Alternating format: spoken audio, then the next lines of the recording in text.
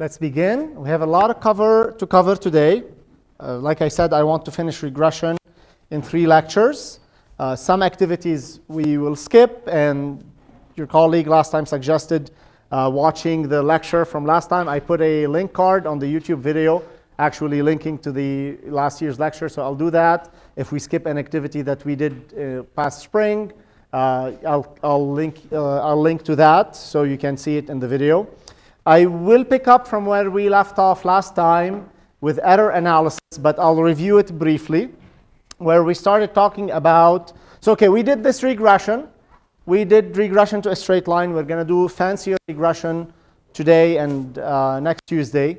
Uh, but we, before we go any further, we need to assess, we need a mechanism to evaluate the error we've committed in our regression. So in this case, we're treating the data that's given to us as the truth. There might be uncertainty in that data itself, and we will talk about that in statistics in the spring. But given these data, assuming that's the truth, the regression curve, the regression line we did, um, obviously doesn't hit each and every point. It kind of passes through in between the data. It captures the trend of the data, and it commits an error compared to those data. Uh, we need to assess that error, and this is what these few, this discussion uh, will do. Uh, we started by discussing standard deviation last time, and on average, some of uh, what those of you who have seen standard deviation or have learned it, um, have a rough idea of what it is. For those of you who haven't seen it, we discussed it last time and we said it's a measure of how much the data is spread with respect to the mean. Now that's very important when I say with respect to what. Because we're treating the mean as our gold standard for representing data. Why? Because it is the simplest statistic that you could do. If you are given data, the simplest thing you could do to represent the data is to model it as using the average. And so in that perspective, the standard deviation measures the spread of the data around the mean. It can also be thought as the average error committed when representing the entire data using just the mean value Okay? just a mind shift here, how to think about the standard deviation. Yes, it measures the spread of the data around the mean, but it's also effectively the error committed, the average error committed when you use the mean to represent the data. So think now of the mean as being a model for the data you're given. And we're going to use that to measure, to assess the error in regression. Okay? So we went through this exercise, and I asked you what is the best uh, statistic you could do for the data, and it's the, it's the mean value, essentially the sum of all of the data points divided by the number of data points. We call that y bar. Y, again, is our response, our dependent quantity. X is our input independent quantity. In this case, we were looking at a person's height versus femur's length. Okay? And then we went on and said, okay, so these data points lie a certain distance away from the mean value because we're using the mean to model the data. Next, we're going to use the regression curve to model the data. Okay, but I'm setting the stage for that. Okay? And that distance, the actual value of the data point minus the mean value, gives you a measure of the error committed at each one of those points if you use the mean to represent the data if you use the mean to say all of these data, I'm just going to model them by a constant value, which is the mean value. Okay? And we measured that distance. We went through the, the math. And we said, OK, the sum of the square of those errors, the average error is divided not by n, but by n minus 1. And we will talk about the reason for the n minus 1 here has to do with what's called degrees of freedom in statistics. And we will explain that in the statistics course, um, hopefully. Uh, but it is, it is, if you divide by n, it will be okay, especially if you have a lot of data points. But in, in practice, you should divide by n minus 1 because you're looking at a sample of the population. So um, you, you lose one degree of freedom there. That's how we, we say it in statistics. We will learn that in the spring. But that being said, then you can get the actual average distance as the sum of these errors, which is the y value from the input minus the mean value squared, and divided by n minus 1, that gives you the average. You need to take the square root to make this quantity in the same units as the distance, okay? Because the square is the, that distance squared. So you need to take the square root to make this equal, to make this in the units of the response variable. And we call this quantity the standard deviation, okay? The square root of this quantity is the standard deviation for any given uh, data set. Okay, great.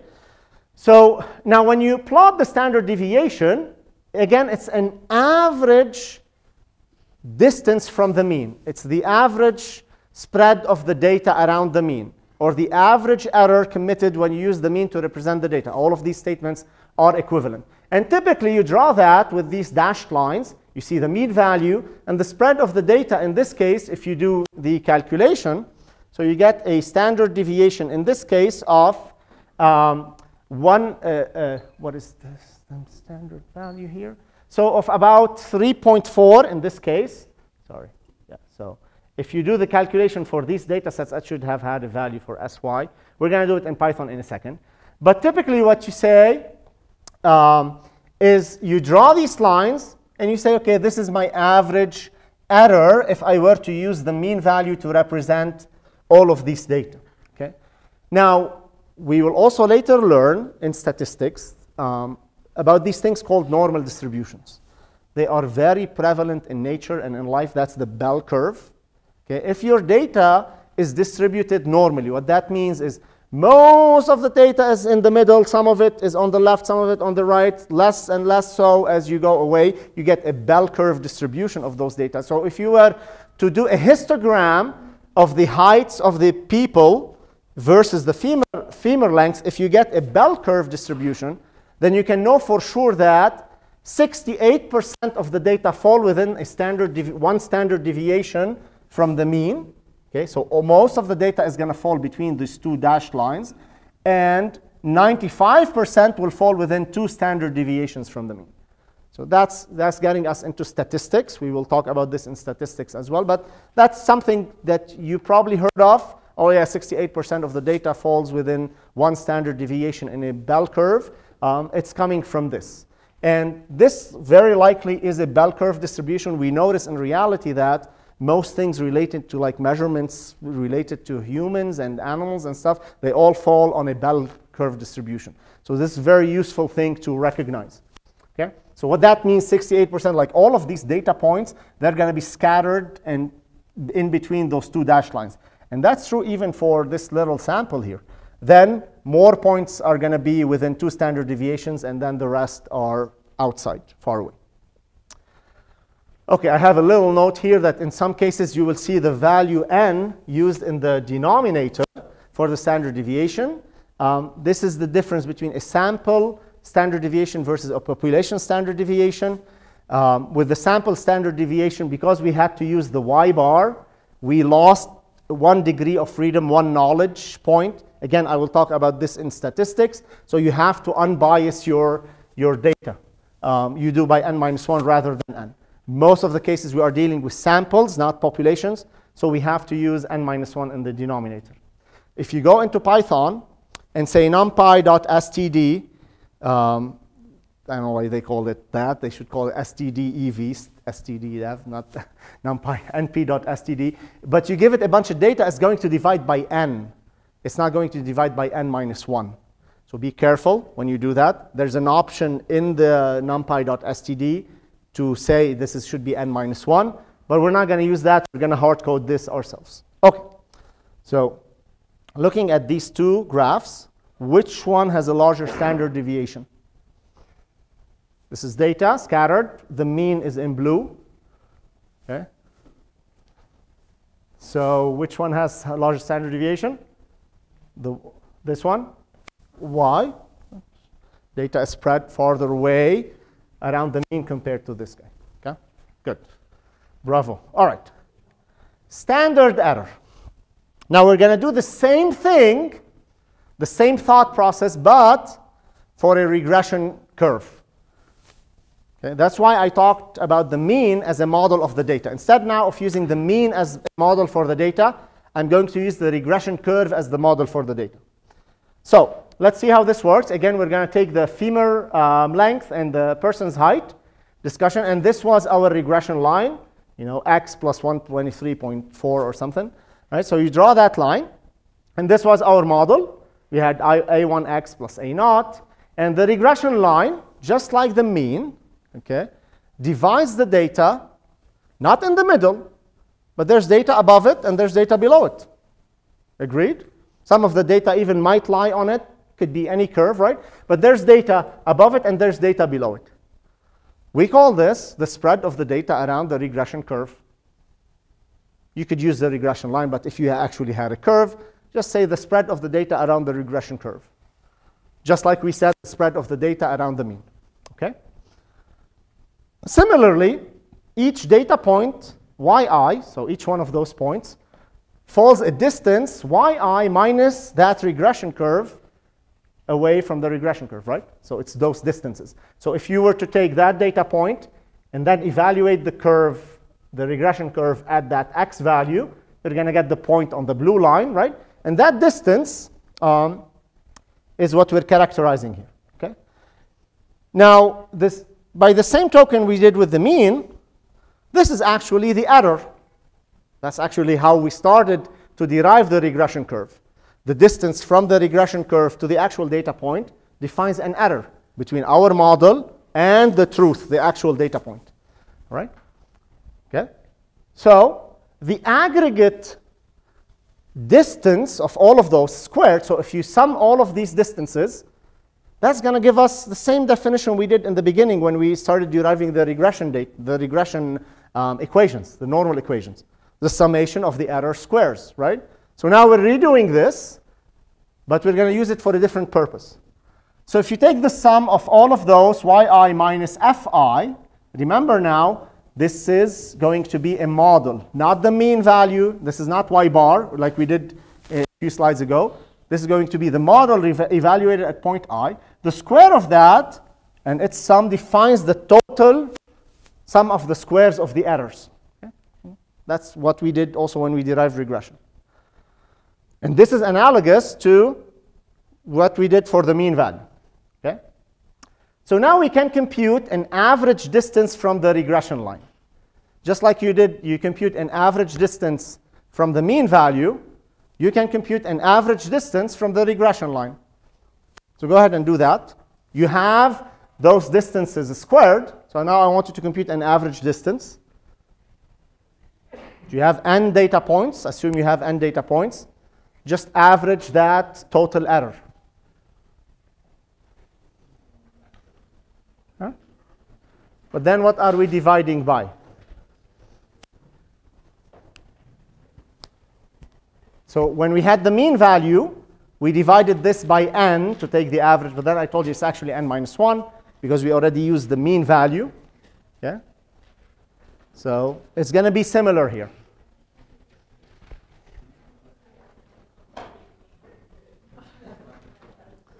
And don't forget to take the square root because we need it in the same units as the distance, okay?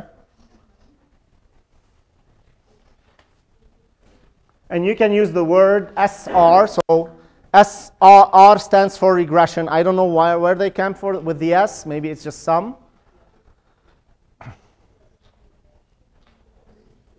You don't need absolute value because it's squared, right? Yeah, so you don't need absolute value. fi minus yi, yi minus fi doesn't matter. Okay, so what's the average? It's SR over, oh, we have n data points.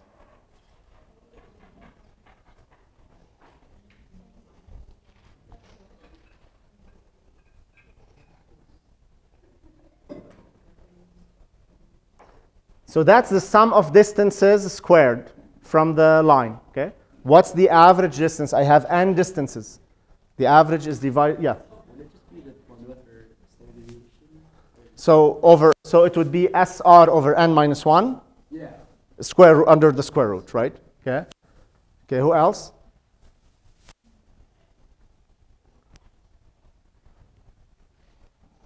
I mean, I would imagine it's just the average is dividing by the number of points, right? So it would be SR over n. Agreed? and under the square root. Okay? So that's, that's a good start. But it's not going to be n. The same for, it's not n minus 1. But you're getting close. So why is it n minus 1? And again, this is a little vague. When we were dealing with the mean, we already used the data to compute the mean value, y bar.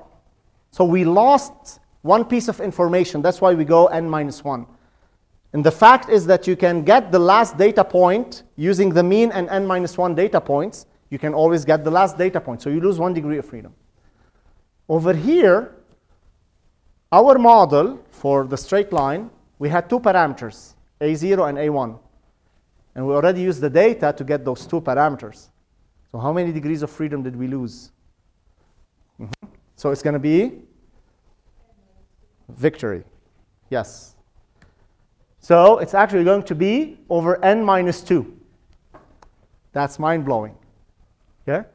So it's the same way, same, by the same token, we did this for the mean value. We're now measuring the average distance of the data around the regression curve. And here we're thinking that the regression curve is the model of our data. So then that average error, now look at how the symbol is changing, sy given x. And again, don't ask me why they came up with this nomenclature. It has to do with statistics. We'll just use it and adopt it here. Now this is this distance, average over, we divide by n minus 2, because we, have two, we lost 2 degrees of freedom because we already used the data to compute two parameters, a0 and a1. And then you take the square root of that to make it in the same units as the response variable. Okay? So this is the square of the, this is in units of the square of the response variable. So you have y squared. You take the square root to make it same units as y. Okay? And that would define another quantity that we call the standard error. Okay? The standard error. And the standard error also, just like we did with the dashed lines on the mean value, it's a constant. This standard error is going to be a single value. So there's data that falls within plus one standard error and minus one standard error from the regression curve. Again, we're analyzing this same analogy we did with the mean value, but you're doing the same analysis now with the regression curve. Okay? For normal distributions, also, 68% of the data fall within one standard error of the model fit, and 95% fall within two standard errors of the model. Okay? Now, standard error represents the average distance, like you said, of the observed value from the regression line. It tells us, actually, how wrong the regression model is on average with respect to the response variable. What I like to think about it as is the standard deviation was done with respect to the mean value if you use the mean value as the model of your data. The standard error is the same thing. It's like a standard deviation, but with respect to the regression curve. So the standard error is for the regression curve what standard deviation is for the mean value. You're just measuring the spread with respect to something else, not the mean value. Okay? If you measure the spread with respect to the mean value, you, you call it standard deviation. If you, if you measure the spread with respect to the regression curve that's trying to represent your data, you call that the standard error. Okay? The concept is the same, right? How much is the data spread around the mean, and how much is it spread around the regression curve? Okay, so this is this statement here. Um, what's also very important here to recognize is that, again, I'm kind of jumping ahead for, of myself, but just I want to make this note. So if you had one value for standard deviation using the mean to represent the data, and then you do a regression, if the standard error now is smaller than the standard deviation, would you have done better than using the mean to represent the data?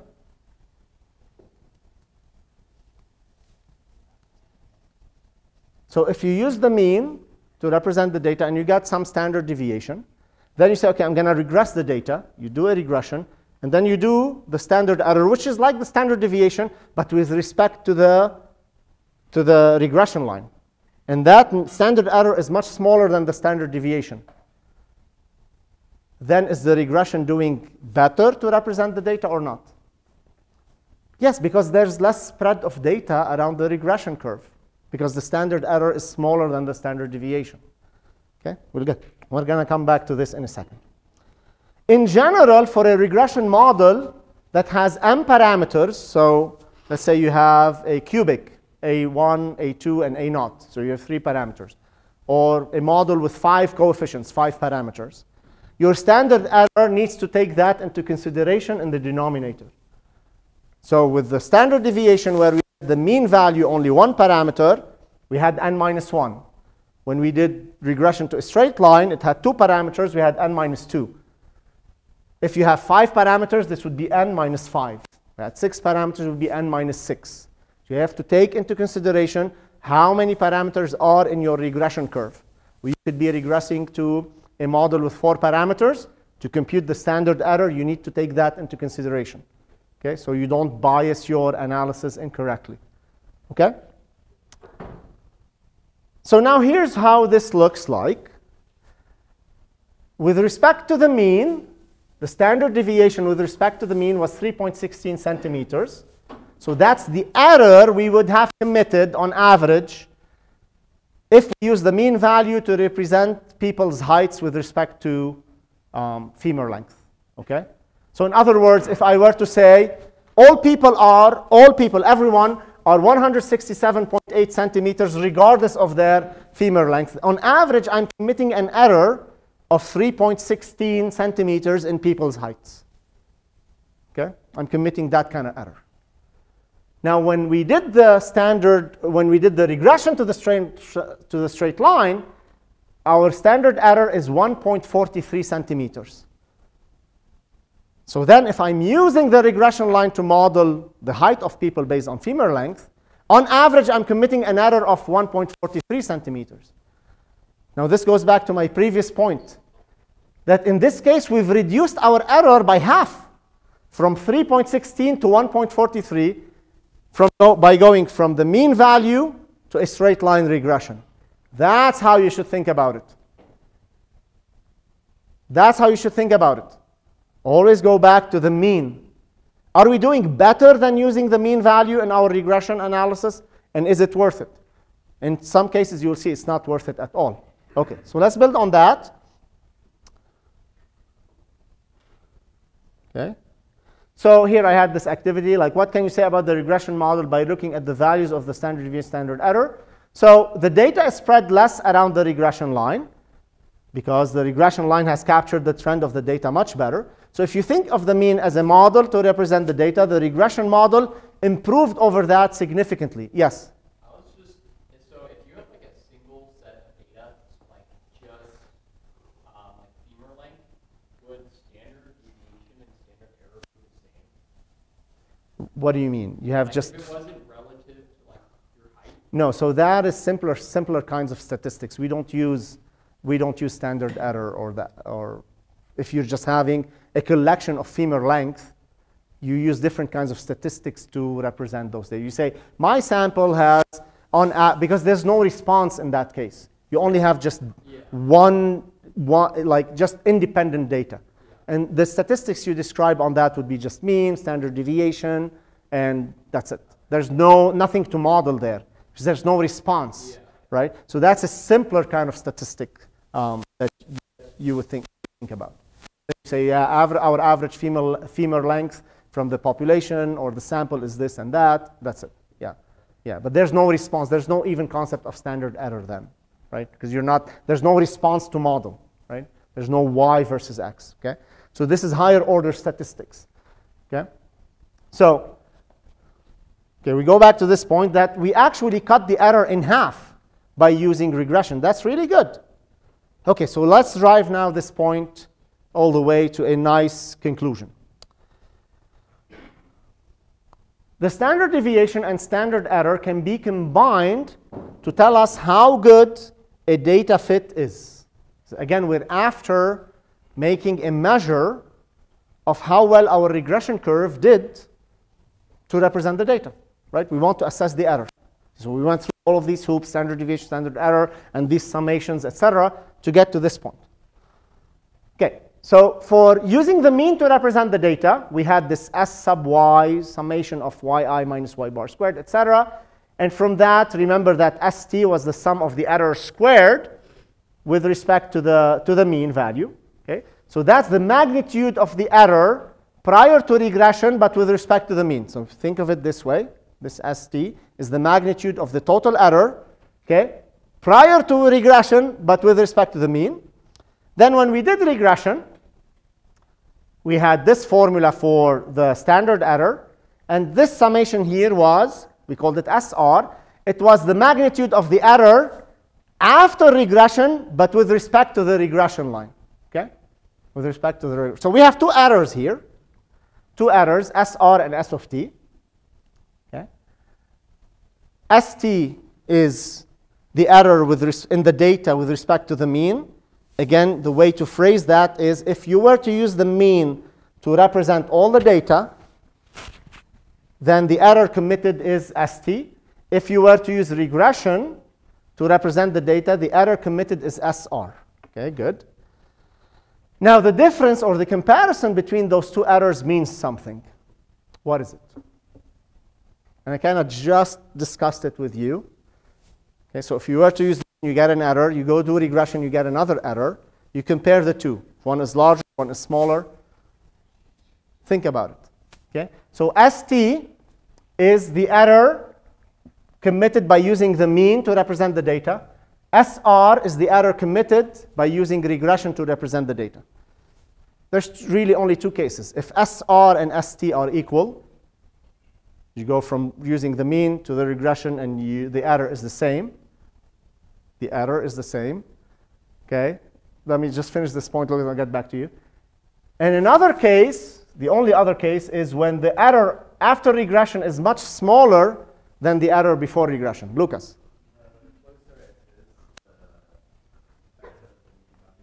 The closer they are together to each other, the, the better. So better for what compared to what? Like, what does it mean?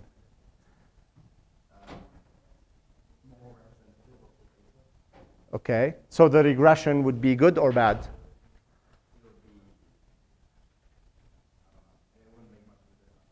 Uh-huh, uh-huh. So doing regression wouldn't have made much of a difference. Okay.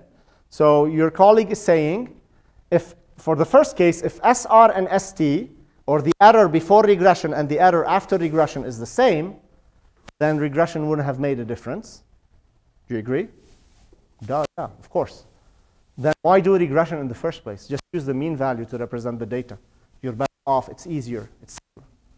Okay? What about the other case? SR is the error after regression. If the error after regression is much smaller than the error before regression, what does that mean? Yeah, so the regression did a pretty darn good job. Regression allowed us to reduce the error in representing the data. So regression did a great job in that case. Okay? Okay. So the difference really quantifies the improvement that regression has made over just using the mean value to represent the data. I challenge anyone to explain the standard error, the, the R squared value, whatever we're talking about, to explain it better than this approach. Best way to think about this, in my opinion, and in truth, is to use the, think of the mean as a model of the data. And then compare regression to using the mean as the model. Okay, think of it this way. What am I doing after regression? Am I reducing the spread? Am I reducing that error in representing the data? And then you can combine those two together, okay? You can combine them together to define what's called the R squared value. So Obviously, those values, it's important to take their difference, but we need to normalize them because they, their difference could be 1,000 or 500 or 10.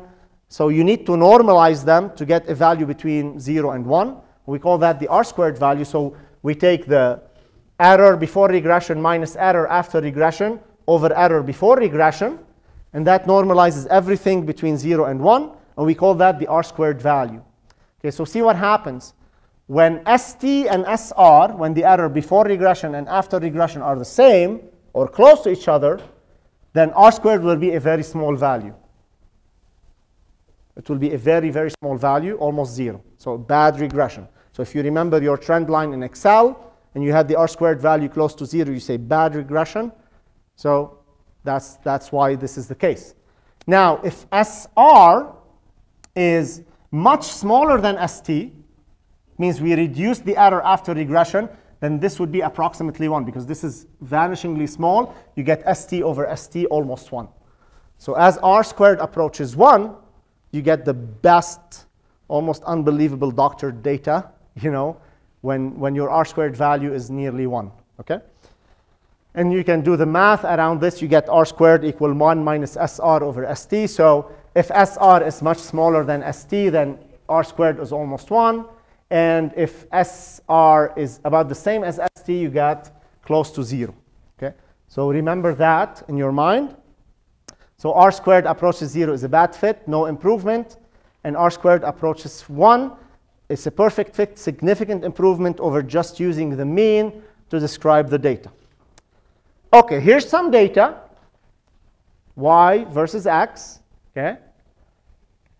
Given this data, answer these three questions without doing any calculation, just visually looking at this.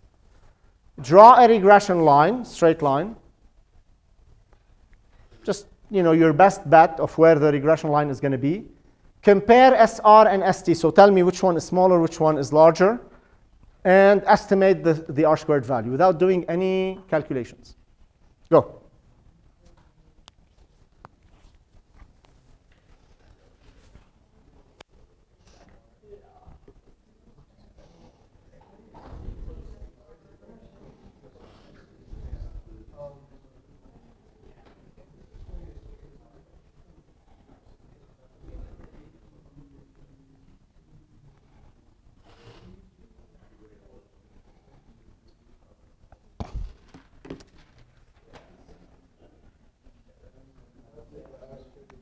So think of ST.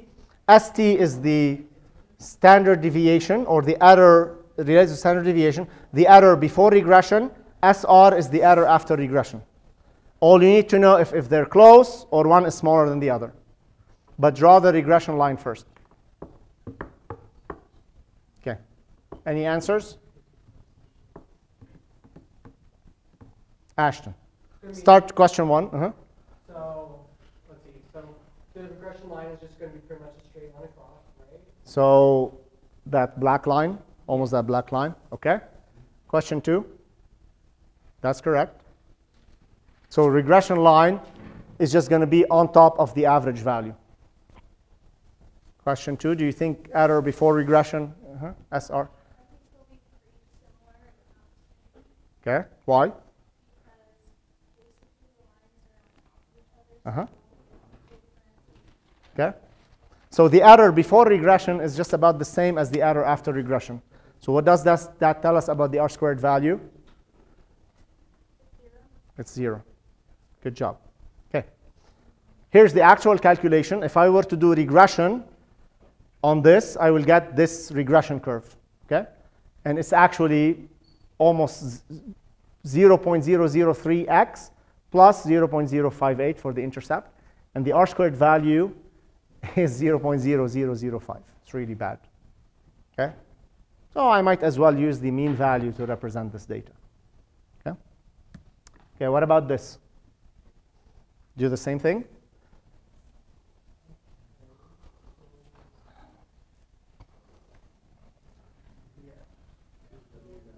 Okay?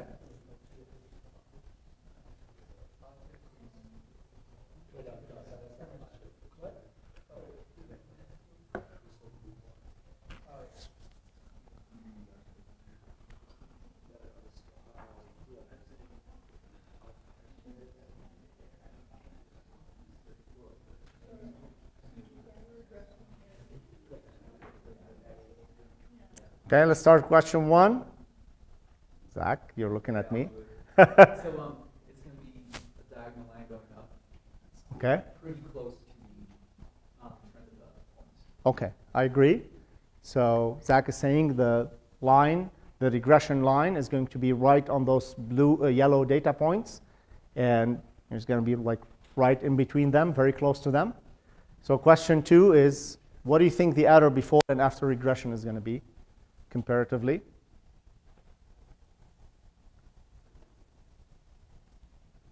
The regression error is going to be much, much much smaller. The regression error, just visually looking at this, the line is going through those yellow points really, really nicely. So the, the spread of the yellow points around the regression line is much smaller. They're more tightly close to the regression line than they are to the mean value.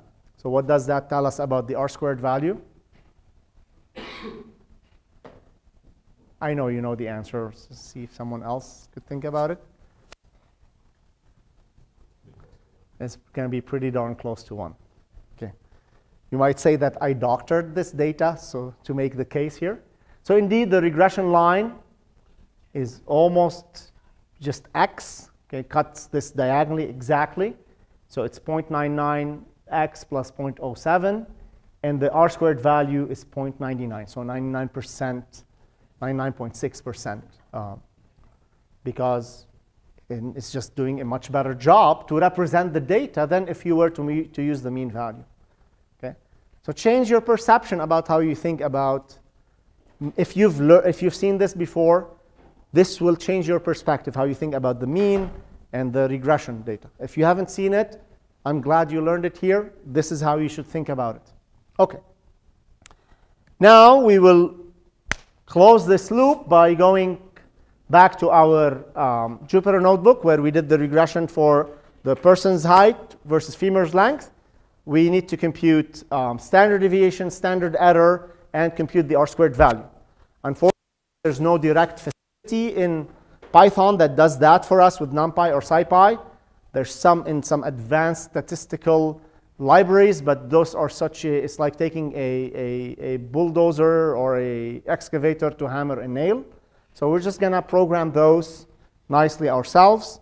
Um, it will take a little bit of effort, but it's not significant. So let's go ahead and do just that. Grab your notebooks. We worked that the notebooks we worked with last time.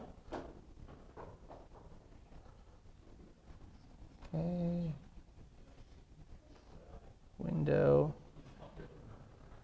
And I know you might not remember all the coding activities, um, but hopefully with a nice review later you can remember what we've done here. And we're working with this. Then we used, used our regression. Then we used polyfit. And polyfit was so cool because we were able to use polyval. Okay. And then I asked you to do this at home. If you were to do uh, the regression manually yourself, so I'm going to skip this. I'm assuming you you did this at home. You're going to do this at home. So we're going to jump to this point over here. So starting with the standard deviation for the data, we're trying to do this calculation, summation of yi minus y bar squared over n minus 1. And y bar is the summation of the data, just the average um, value. So sum of yi over n. And so we would need y bar first, and then take the difference, and then divide, take the square root. OK, so let's start with y bar. Let's go ahead and start with y bar. And that's going to be, um, if you remember, maybe not in the slides.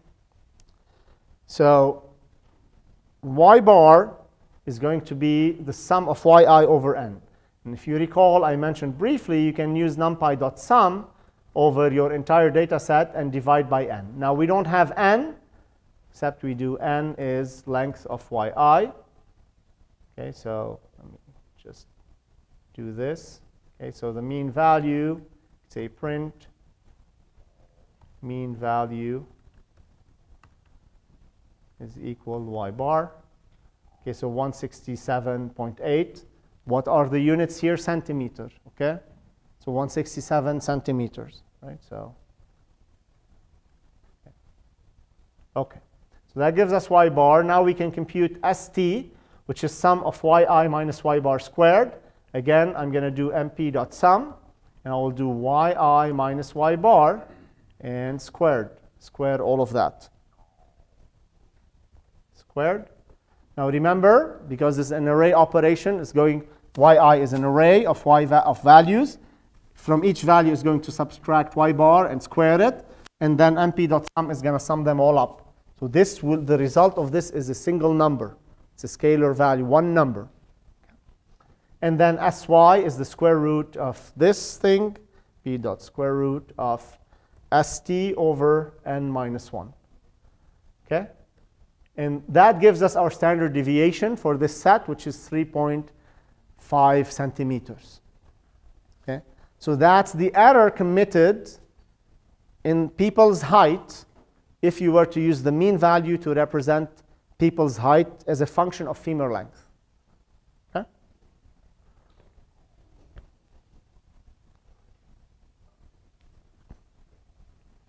This numpy.sum is incredibly useful for these things.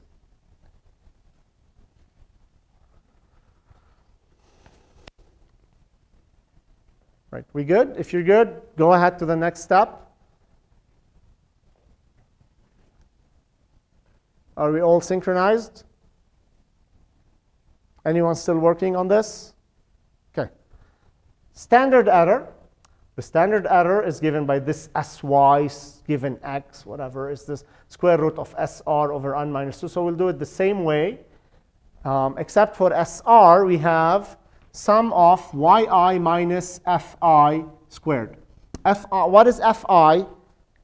What is fi? f is our model. Agreed? It was what we called f of x was a naught plus a1x. So how do we get fi over here? We just need to evaluate the model at each xi value. Remember, fi is f of xi, is the model evaluated at each xi value.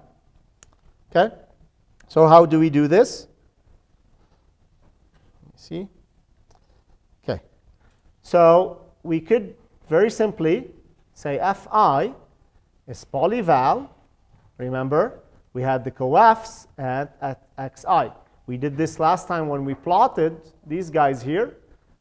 Remember, polyval, coefs at xi. That's our model at xi at the input values. That's effectively fi. So when you look at this plot, fi is the values at the blue line that correspond to the values on the x-axis with the red points. Okay, This would be fi, fi over here, fi, and so on. Okay? So that's what's cool about polyval. It just does that for you automatically. So fi is polyval we're using the coefs from the regression polyfit at all the xi values. Finally, we can do SR and P.sum. I'm going to open outer parentheses. Then I will have yi minus fi squared. Okay? And then syx is np dot square root of sr over n minus 2. And you print this, you get 1.43 centimeters. So if we were to use the regression curve to represent a person's height versus their femur length, on average, we will be committing an error in their height of about plus or minus 1.43 centimeters. And that was consistent with what I measured. I, am like 168, and I think I, I got 167 for, the, uh, for, for my height, right? So that falls within um, this standard error, okay? That's a reasonable estimate. Okay, finally, we get to do the r squared value, which is 1 minus ST, SR over ST, right? So we already had y bar done. Sorry, so we don't need y bar over here. Um, uh, we can do r squared much cleaner. Hold on. So we do r squared as 1 minus SR over ST. Agreed? Gives us an 85% r squared value. Okay, 0.85. So it's it's it's it's a good value. It's it's uh, realistic. When you see r squared values close to one, um, you should be very suspicious and skeptical of the data. Um, it's not realistic to get such high r squared values in in in reality. Um, some of the best values might be 80%, 80, 0.85 like this. So tells you you're doing a pretty darn good job with regression. Okay. Now it could be your regression model is really bad. Like maybe the data is parabolic and you're representing it with a straight line and you get a 0.1 r squared value, then your model is wrong. Do a better model for the data, right? Okay. We good? Okay. We move on. Let's make it harder. I only make it harder because you're up to the challenge, okay? All right. You can tell me, what if we don't want to be up to the challenge? I think you're up to the challenge. So, okay. We want to generalize now. So we talked about regression to a straight line. We derived it. We did polyfit. All good. So think about what you've learned in just this week, where you started and where you're at right now. We studied how linear regression works. We learned what it means, standard deviation, standard error, thinking about the mean as a representation of the data, modeling the data, uh, polyfit, polyval, and p.sum, all of those tools and things that are just coming at you. We want to generalize now because obviously regression to a straight line is not the only regression you could do. There's oftentimes data doesn't belong to a straight line, okay, and it can be represented better than a straight line. So we want to generalize. Um, but first, I want to clarify what I mean by linear regression. And this is the, the this is the most um, accurate representation, I say it for the nth time, that in this class, when I say linear interpolation or linear regression, I do not refer regression to a straight line or interpolation to a straight line. What I mean by linear interpolation or linear regression specifically is that the least square system of equations that governs the coefficients of the model is linear. In other words, the coefficients of the model show up linearly in the model itself or in the, or in the normal equations. So in that sense, we go back to interpolation, cubic, polynomial interpolation, all resulted in linear systems of equations. Those were all linear type interpolants, although the model itself is highly nonlinear. Okay? So in that sense, polynomial regression and other models, when the coefficients show up linearly, are going, we're going to call them all linear regression. Okay? What is best to do is just to say and be clear about it. Say, I'm doing regression to a straight line, regression to a quadratic, regression to a cubic and just ditch that confusion about linear, uh, whatever, linear, nonlinear regression. Okay? Can be confusing, just be clear. Say we did regression to a polynomial. Okay? Nobody's going to argue with that. They understand what a polynomial is. Or we did regression to an exponential model. Here's what it looks like. Okay? So let's start with a couple of examples. What if we wanted to use this model, a naught plus a1x plus a2x squared? Okay? What do you think we're going to get for the system of equations, for the normal equations? Are they going to be linear or nonlinear? Okay, let's see. So if you were to do the same machinery, we compute, we define S, the sum of the squares of the adder, and then expand it. We plug in the model formula. We plug in Fi over here, and we expand it just like last time. Then this summation is minimum. We remember we're minimizing the sum of the squares of the errors is if these conditions are met, or if the slope of s with respect to a naught, a1, and a2 at the same time is equal to 0. So when you do this, you do the derivatives, you get a system of equations for a0, a1, and a2. How do they show up? They show up linearly. So yes, this model is going to result in a linear system of equations for the coefficient. Although the model itself is a quadratic, it's highly nonlinear, the system of equations that governs the parameters, a1, a0, and a2, is linear. I'm going to call that linear part of linear regression analysis. Okay? Okay, three equations, three unknowns, you can solve it. Good. All right? Okay, what about this? a plus bx cubed. Do you think it's going to be result in a linear system of equations for a and b or nonlinear?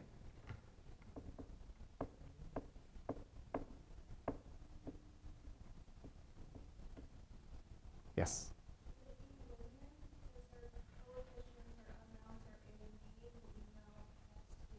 Yeah, because they show up linearly. Yep, yep. So by now you should get the trend that same as with interpolation, when the coefficients show up linearly, you are guaranteed to get a linear system of equations for the normal equations here. Okay? So this was an activity. You can do it at home. Okay? You define, you have, so by the way, you need to be very versatile doing this. S, writing S down, expanding it, and doing these derivatives. Okay? So these are all examples that you can use at home and rehearse.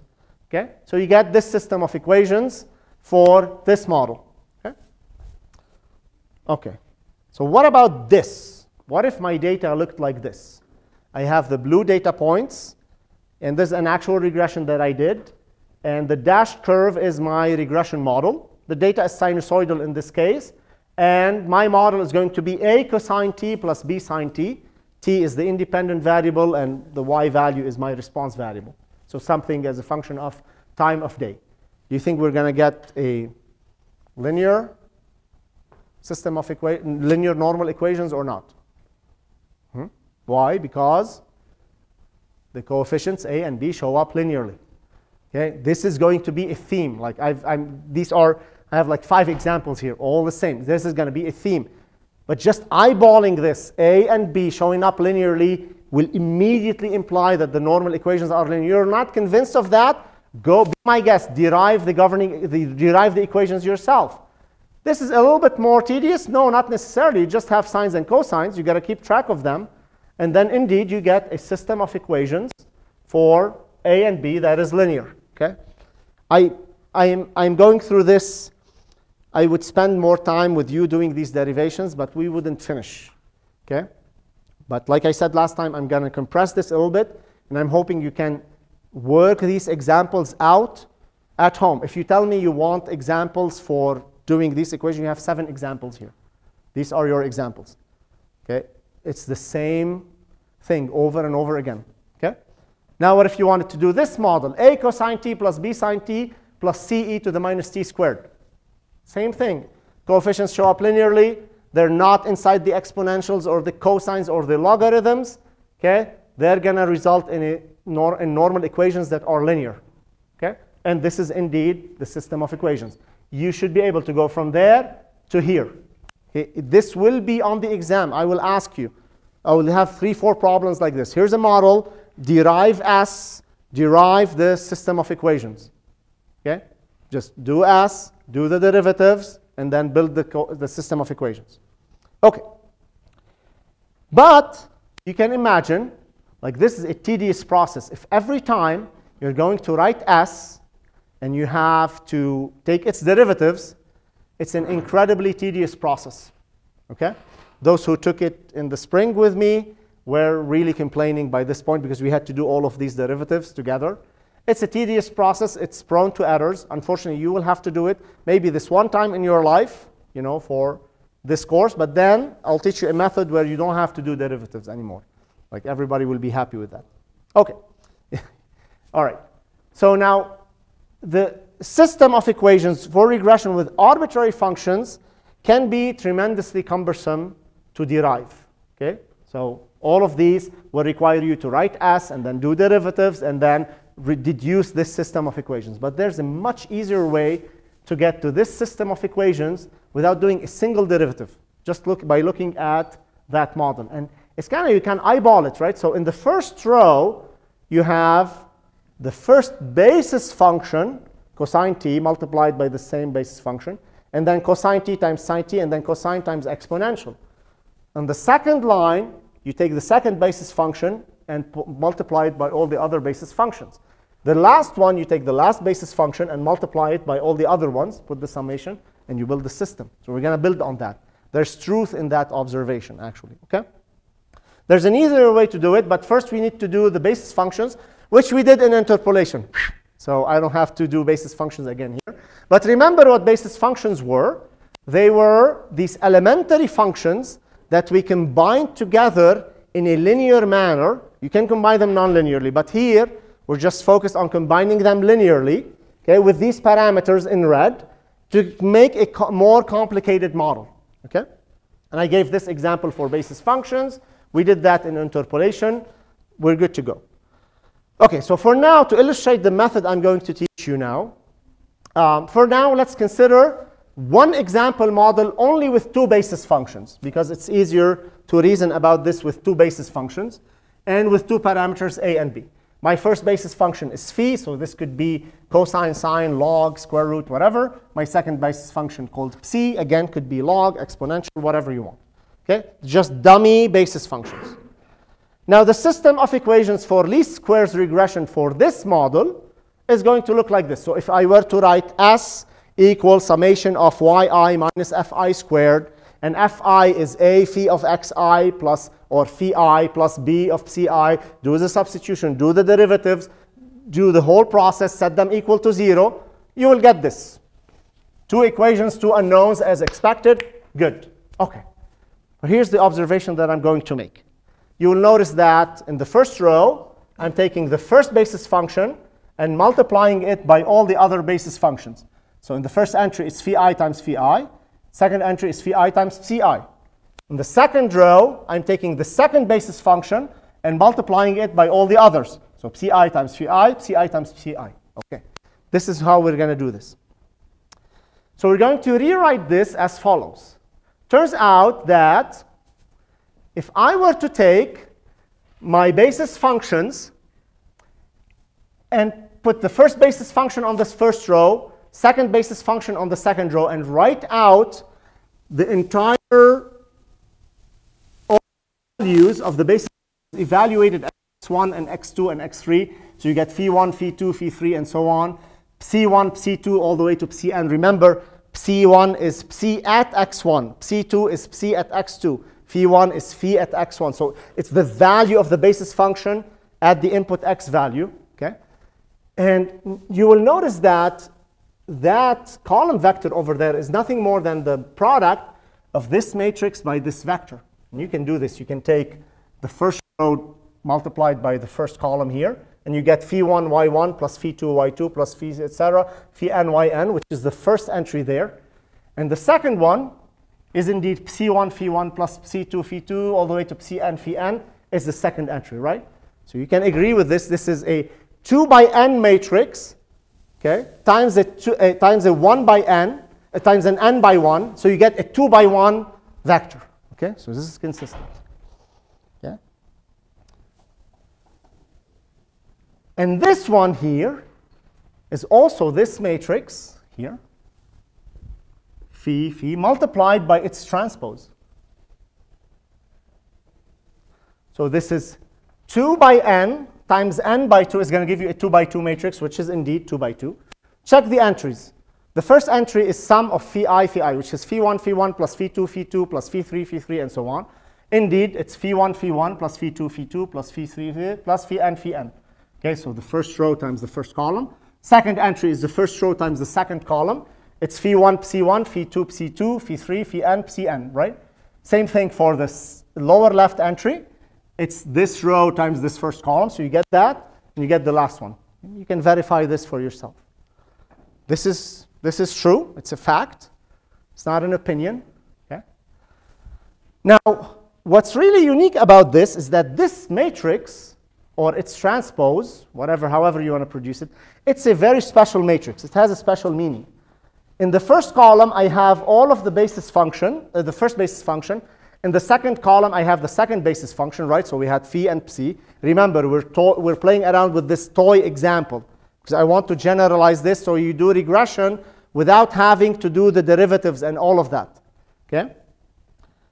But then the rows is you evaluate at the first observation, at the second observation, and at the nth observation. So if you're given phi and psi, which you are given phi and psi in general, right? Because that's your regression model, and you're given the xi values, you can build this matrix very easily. In the first column, you put the first basis function evaluated at all the input values. The second column, you put the second basis function evaluated at all the input values. Then you can use this matrix to build the regressions, to, to build the normal equations. We're going to call this A. We're going to call this Y. And this is A transpose. Okay? And the unknowns, we call them alpha. And all you need to know in general is only the coefficient matrix A, which is deduced only from knowing the basis functions. There's not a single derivative. This system of equations is the same as the one we obtained. So you see the, the, the process we went with. If you knew A and, and multiply it by A transpose, you will get the system of equations that we derived by minimizing the sum of the errors. But you didn't do a single derivative. All you did was take the basis functions and evaluate them at the input values, put them in this matrix A. It's if you know A, you know it's transpose, you know Y, and then you can solve the system of equations. This is a special form.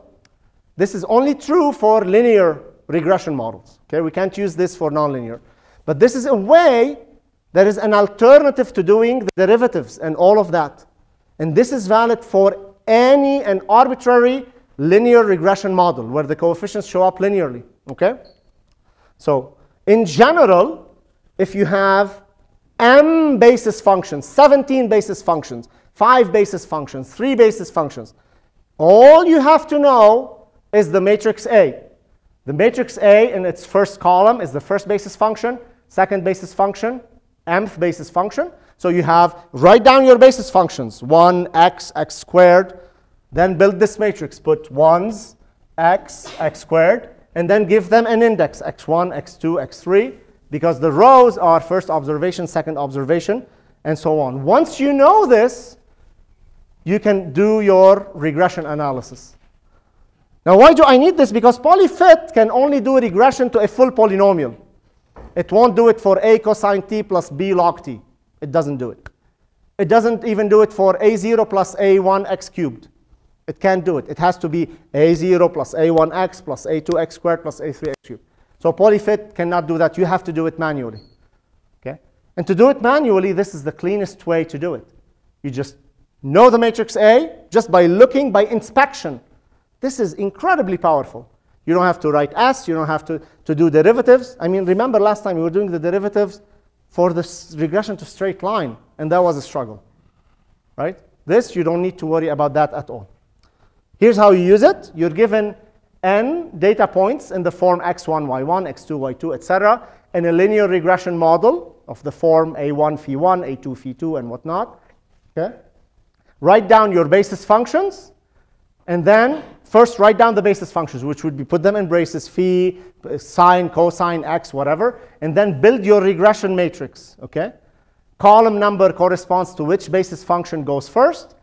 Uh, it doesn't matter the order. Order them however you like. It doesn't matter. It's going to be, once you multiply by the A transpose, it will correct everything. And then the row number corresponds to which observation the basis function is for. Build the y vector, which only contains the observed values and then just solve this system of equations. So you will, you will do A transpose time A, that gives you the final coefficient matrix for numpy.linalgebra.solve, and you solve it, give it the right-hand side, and you're done. Okay, here's an example. Okay, here's an example. So consider the model A plus BX. So that's the one we started with. At the beginning, we derived this. We spent almost an hour trying to derive that. You can do it in like one minute here, okay? So given this model, use this methodology to write down the regression matrix. So we're going to call A the regression matrix from now on. Um, and show that the resulting system is indeed this one. So we'll do this together. My model is A plus Bx. I'm going to write down my basis functions. They're going to be 1 and x. My regression matrix contains, in the first column, contains the first basis function. And in the second column, contains the second basis function. So it's going to be 1x. Now the rows are going to be x1, x2, x3, all the way to xn. That's my regression matrix. First basis function, second basis function. Copy it all the way down with the observations. Assume you have n observations always. So first basis function, second basis function. First observation, second observation, nth observation. My solution vector is a and b, so I'll call that alpha and my y vector is the given data points, y1, y2, and all the way to yn. Okay? Now build A transpose A. So if this is A, this is its transpose. You just rotate the first column, rotate the second column, so you get ones, and x is over here. Now this gives you If you do the product, this gives you exactly the system we obtained last lecture. If you remember, we had n, which is 1 times 1 plus 1 times 1 plus 1 times 1 all the way to the end, so it gives you n. And then 1 times x1 plus 1 times x2 and so on gives you sum xi. Same here, here. X1 times 1 plus x2 times 2 gives you this, and then sum x squared. That was what we derived by hand last time. A transpose y is the right-hand side. Again, you multiply the, that um, transpose of the matrix by the y vector, and you get that system of equations, which we did um, tediously by hand. Okay, this is very beautiful. It's a, it's a nice shortcut. That's what I use when I'm coding up a unconventional linear regression model. That's what I use. I don't do that. I don't waste my time with derivatives. I just go to the regression matrix. Okay, so let's do this now. Um, a plus bx plus cx squared. Uh, I'll just do it with you. You should rehearse this at home. There's a ton of examples here. Okay, so don't come and ask me for examples. I will tell you, go look at the slides. If there's still trouble, I'll give you more examples. Okay? So same, same thing here. Identify the basis functions, which are 1, x, and x squared, because my model is a plus bx plus cx squared. And simply build the matrix A. It in the first column, contains the first basis function, which is 1. Second column, the second basis function. Third column, the third basis function, right? Each row is an observation. Call them x1 to xn. Okay, so you have x1 to xn, x1 squared to xn squared. Once you have A, you're done. Once you have A, you're good to go. Then A transpose times A, you know how to do the transpose. So this first column becomes the first row, second column becomes the second row, third column becomes the third row, and then you do the, the matrix product. And then if you do this, okay, first observation, then if you do this, you recover the system of equations for that quadratic. Okay, let's now do a log x plus b cosine x. Again, your basis functions are log x and cosine x. So your a is going to be log x1, log x2, all the way to log xn, cosine x1, cosine x2, all the way to cosine xn. Okay, columns are the basis functions, rows are the observations. You bid A, you can get A transpose, you do the product between the two matrices, and you get this, which was, this was an example a few slides ago where you had to do the summation and differentiate by hand and everything, okay? So this is pretty useful, and that's how I would do it when um, working in Python for things that don't work with polyfit. Again, polyfit will only work with a full polynomial, a0 plus a1x plus a2x squared, and so on. Anything that breaks that cannot work. In Python, you can very easily build this matrix using um, a function in NumPy called numpy.columnStack. And you can do, build this entire matrix in one line of code. You have to be a little bit um, careful doing this. And if you had so with numpy.columnStack, what it does, it takes a, an array, a 1D array, which is like this guy, and puts it in, in the first column. And then takes the second array, puts it in the second column, column and so on. So if you have phi1, phi2, phi3, your basis functions, all you have to do is evaluate the basis function at the input points. So phi1 at xi, phi2 at xi, that's going to be an array, right? Because xi is an array, input array phi, the, the, um, the basis function at xi is also going to be an array containing the basis function, evaluate x1, x2, x3, and so on. Okay? You put numpy.column stack, it generates this matrix instantly, and then you multiply by the transpose, and you're good to go. So here's a pseudocode for this. Given xi and yi data arrays, you do numpy.column stack, phi1 at xi, phi1 of x, uh, phi2 of xi, and so on. Now you have A, then A transpose A, you simply take A dot transpose multiplied by A. So remember you have to take it from the left-hand side. Same thing, A transpose times YI, you get the right-hand side, and numpy dot lin algebra dot solve. Okay? So don't say you don't know how to do this. This is how you do it. Here are two examples. And we will do, we don't have time to do the coding activity. We'll do it next time. But here's an example for this model, for A plus BX. Okay? So my first basis function is 1. My second basis function is x. So I do numpy.column stack, in the first basis function is simply numpy.ones of size n, which is the number of data points. The second basis function is simply xi, right? x1, x2, and so on. Python takes these and puts these 1D arrays into that matrix, and then you have A, and then you multiply it by A transpose. For this guy, for example, same. The first column is, is ones, the second column is x, and the third column is xi squared. It's that simple to build A, okay? Um, we have a coding activity here. I don't think we have time to do it, but I'll kind of briefly explain it. So um, three disease-carrying organisms decay exponentially in lake water according to the following model. Um, so this is the, the, the rate of decay, like how many organisms are left, or the population of the bacteria after a certain time in hours. Okay? And the model is A e to the minus 1.5t plus B e to the minus 0.3t plus C e to the minus 0.05t. Now, this is an expert model developed by some, someone who studies bacteria in lakes. Right? They know that model. You will know it in your career. Okay? I am going to give it to you right now. Okay? And they have these observations, 0.5 after half an hour, after half an hour, the population was six or six million organisms, doesn't matter, it's normalized. After one hour, you had 4.4 organisms. After two hours, 3.2. After nine hours, we went down to 1.1 million or 1,000, doesn't matter, okay? Now, to do this, we, this obviously cannot be done with polyfit. It's not a polynomial, okay? But it's a linear model because A, B, and C, those coefficients, they show up linearly. We're trying to find A, B, and C. Don't forget that. We're trying to find the coefficients so that this model can represent the trend in these data. Okay? So then all you have to do is list your basis functions, which are e to the minus 1.5t, e to the minus 0.3t, e to the minus 0.05t, and put them in the A matrix. That's the A matrix. Column 1, basis functions 1 column 2 basis function 2, column 3 basis function 3. I have a typo here. This should be Tn, okay?